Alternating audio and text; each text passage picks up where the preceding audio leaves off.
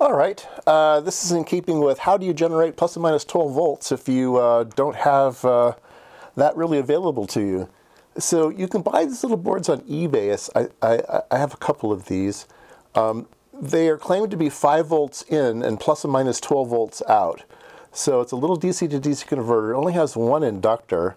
Um, and so it makes you kind of curious how they get both plus and minus voltages out. You you whack up and down the the uh, you whack up and down the um, inductor, and you can catch positive peaks with a diode and a capacitor.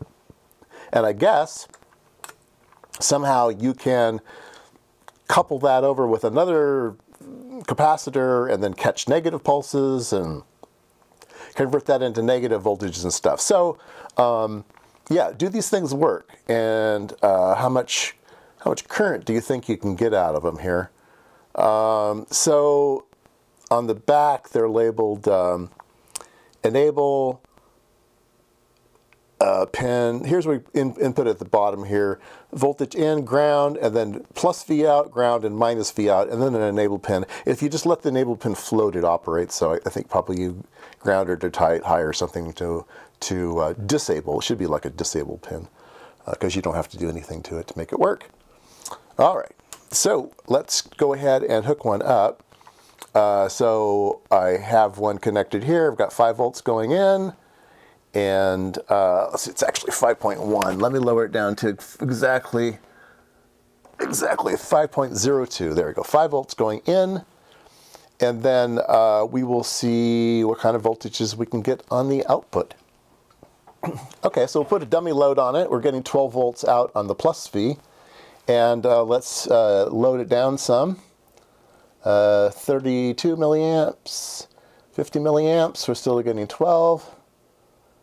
Uh, 100 milliamps, we're getting 12. 150. Well, it's doing pretty good. Let's go up to 200 milliamps. I doubt that I would want to take that little inductor more than 200 milliamps, but we can uh, we can ramp it up a bit, see if it starts to droop. That's starting to droop maybe at 230 milliamps. I don't want to blow it up not until the video's over. so that's what the plus voltage does, the plus 12. I'd say it's a 200 milliamp part, something like that. So let me disconnect this because it's going to be minus voltages. I'm going to put it over on the V minus. And I'm going to turn the plug over uh, in order to get minus voltages. So it's outputting minus 11.98 with no load. And as we start increasing the load, it's starting to drop right away. So here's 50 milliamps, 11.5, uh, 85 milliamps, 90 milliamps. Let's go to 100 milliamps. 11.4, and uh, see where it drops down to 11. Yeah. Uh, 200 milliamps, it's 11.1. Yeah, that's not that's not very good. So on the minus side, what would I say this is really rated at? If you're running op amps, maybe 11 and a half volts, 12 on one side, 11 and a half on the other side. Let's put it right at 11 and a half. Uh, 11 and a half uh, volts, uh, 65 milliamps. That's still fairly respectable, not too bad. So yeah, this little device is, uh, might work. Um, I don't know how reliable they are when they start to heat up. Um, if you're pulling, uh, let's see here, what we should do uh, is pull them evenly. We should have a certain current on one side and a certain current on the other side. We're only pulling off one side of it right now. We don't know what the other side is doing. So let's go ahead and load the plus 12 at 200 milliamps, okay? Or let's do 100 milliamps. So 12 volts, 100 milliamps, we need 120 ohm resistor. So we'll put 120 ohms on this side and uh, see what happens to the negative side. All right, so I put 120 ohms on the plus 12, so we're drawing 100 milliamps out of there.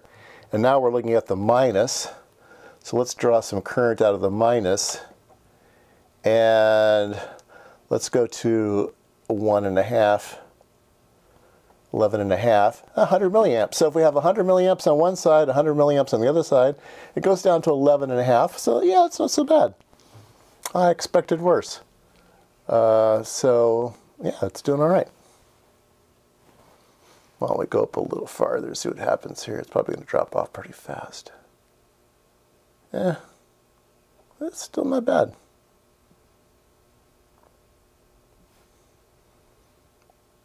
All right, let's draw 200 milliamps. Then I'll put a, um, I'll parallel in another 120 ohms. And so we will have 200 milliamps on the, oh, my resistors are getting hot. we'll have 200, 200 milliamps on that side and 100 milliamps on this side. It's still doing all right. And can we get 200 milliamps on the, nah, it's dropping way down. So yeah, at 11 and a half volts, getting 100 milliamps. So there you go. Uh, let me disconnect this. I don't want to burn up these resistors. Um, so yeah, 200 milliamps on one side, 100 milliamps on the other side. Uh, you can figure out whether the part is useful for you or not.